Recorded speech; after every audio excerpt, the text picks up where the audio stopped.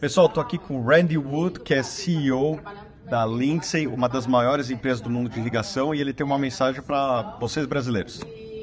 Well, thank you for the, the opportunity to, to speak today. Uh, from our perspective, we're uh, in a position globally. We need to grow more food for a growing population, but we have to be as efficient with those resources as, as possible. And some of the newest innovations and technologies, the customers we have in Brazil today are adopting those at tremendous rates. They recognize that we need to produce more while consuming less. And a state like Paraná, the, the group, the delegation we met with today, very low penetration of irrigation today, but significant potential. And under leadership of the governor, putting the right teams in place, we're uh, extremely excited to be part of the solution and allow them to grow even more to feed not only Brazil, but also to export and feed the world. So Brazil is the next frontier for our, our irrigation, right? Brazil has more growth potential than almost any market we see in, in the world.